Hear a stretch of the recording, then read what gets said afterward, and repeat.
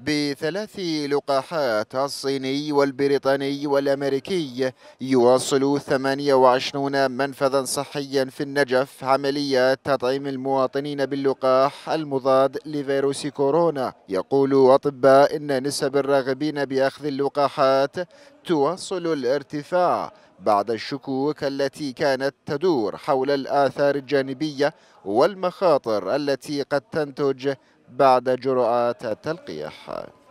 زيادة النسبة في زيادة يعني. حتى عامة الناس زيادة. بالبداية كان قسم عندهم تخوف ها ألقح ما ألقح. الآن لا.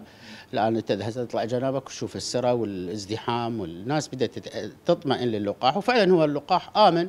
ويا ريت كل المدن يصير بها وكل المدينة. بس تدري لازم تكون تمشي وفق يعني بيئة مناسبة وملائمة يكون اللقاح صحيح. سلسلة إجراءات وقائية تتخذها الجهات الصحية قبل الشروع بإعطاء اللقاح لضمان عدم تحوله إلى خطر يداهم متلقيه.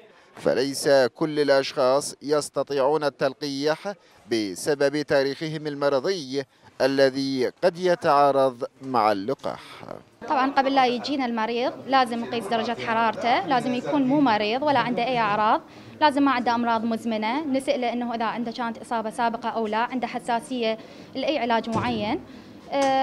إذا عنده حساسية يعني ممكن شوية يتانينا بعد اللقاح هذا مو مانع. طبعا موانع إعطاء اللقاح هي العمر أقل من 18 أو الحامل أو المرضع. طبعا إحنا نشجع كل الناس بالذات يعني كبار السن غالبية الناس أغلبهم يعني يكون يلتجؤون إلى اللقاح حتى إن شاء الله نتخلص من هذا الوباء.